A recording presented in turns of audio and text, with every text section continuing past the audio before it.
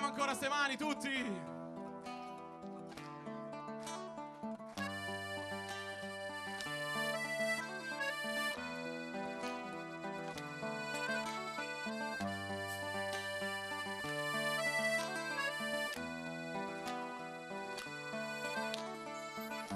La salute in